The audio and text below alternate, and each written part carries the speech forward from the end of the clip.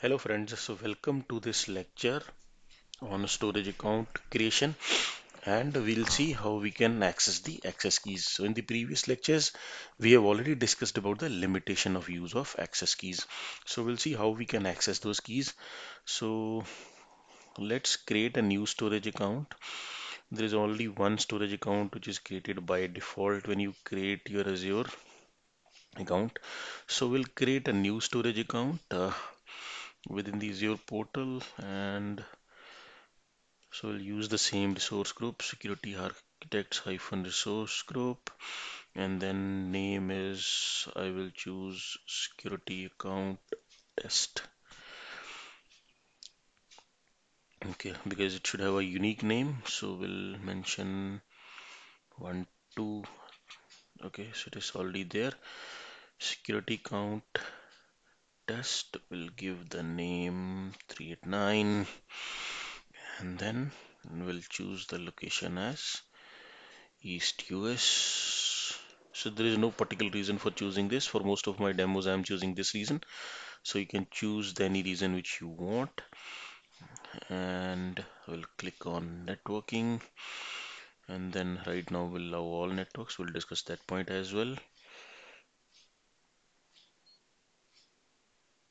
okay we'll next when review and create.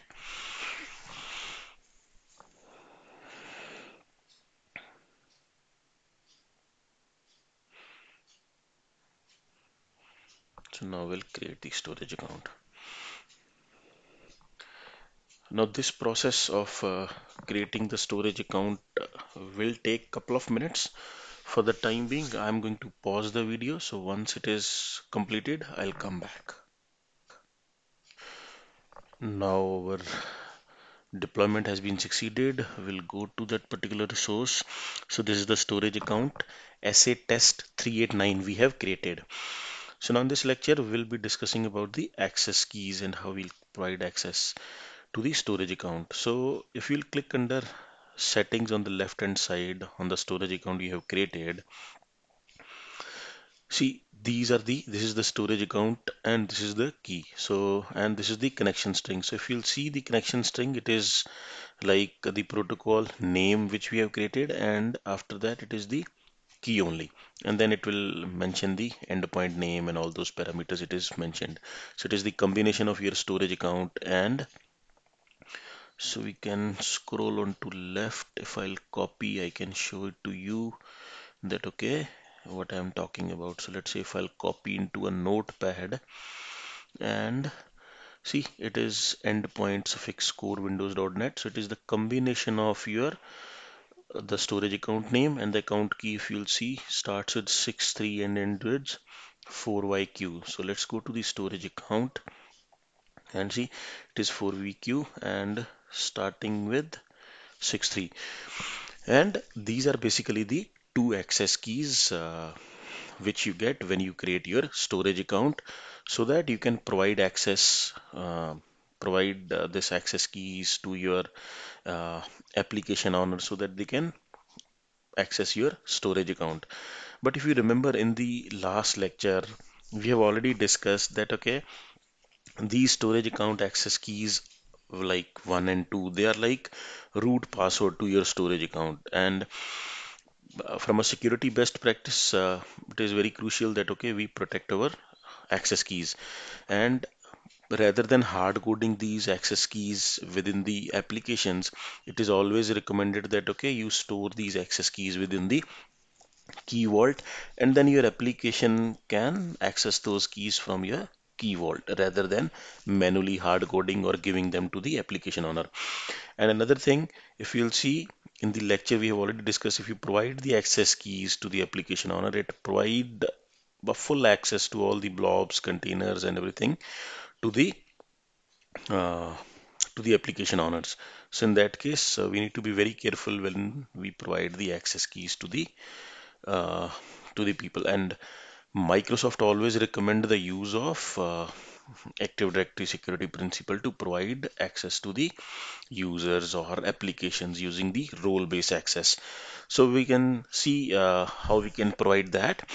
but if you want to store let's say these access keys like Microsoft recommends rather than hard coding them we can also store these access keys within the key vault so and the reason we have already used uh, discussed about the key 1 and key 2 is like if we have implemented the key rotation so in that case while uh, uh, this uh, while the key 1 is being uh, uh, you know given to the application and you want to use the key 2 so in that case you plan the rotation accordingly so that that key 1 is updated by the application managers and then once it is uh, and once you're done with the key rotation of 2 then you can give the key rotation 2 to them so that they can update the key at their end.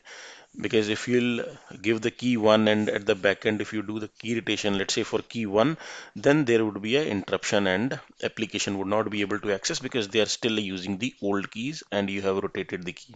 So that is why key 1 and key 2 are given.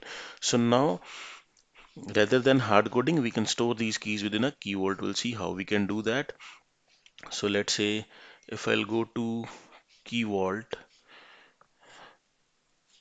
and we already created one key vault yesterday. Let me check if it that is there or not yeah so we have security architects hyphen key vault created so what we can do is so basically key vault can store your keys uh, as a secrets uh, within the key vault so you can click on secret generate and then type in manual rather than you know clicking on certificate. And will mention uh, SA test key has been stored and so we'll paste the secret over here and mention the key. And then we'll not check any option activation date and as of now in this particular lab. So we'll click on create. So you can see this has been created and can be accessed by the application. So rather than hard coding it into the your application. Now we'll come back to our storage account which we have created so this was the storage account we have created. And so this is about the access keys. And now the another thing which we can do is uh, providing access uh, using the active directory to provide access to your storage account. See we have discussed in the previous lectures as well that storage account using uh, AD basically to authorize access to your blob queues which you have in your storage account. So with the help of which you'll be able to provide role-based access to your storage account. So to provide role-based access to your storage account you can click on IAM so in that case any you can provide access to a user group or a application or an you can say service principal.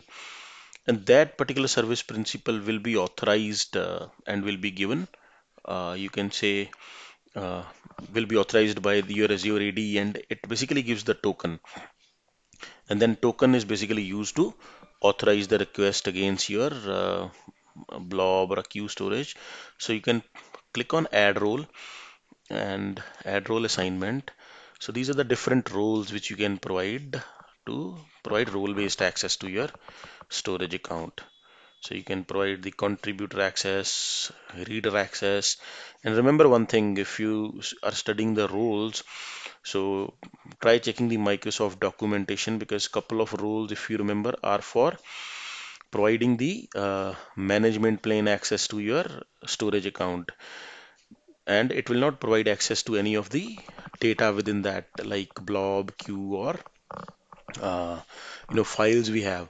Because if you provide the storage account contributor and the user or a service principal needs to access in turn the blob or some queue data so in that case it will not be able to access. So choose the roles wisely because blob and all those roles which are specifically to the data within the uh, within the storage account it provide access to the data not to the storage account.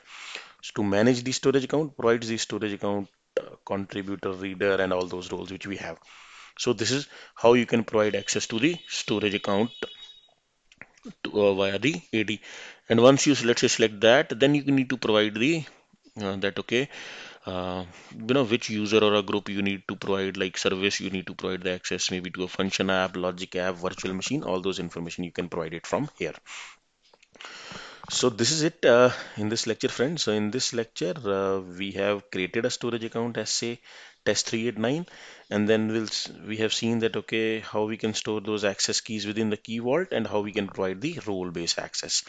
So this is it friends uh, in this lecture. Thank you for watching this lecture